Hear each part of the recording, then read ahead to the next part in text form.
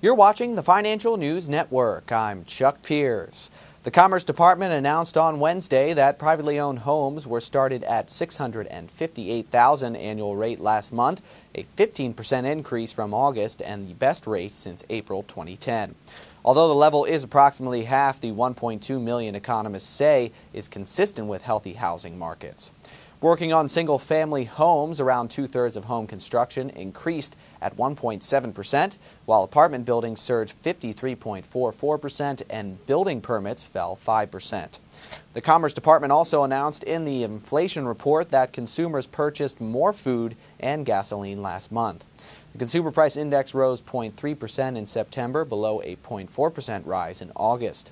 Excluding food and energy, so-called core prices increased 0.1%, smallest rise since March.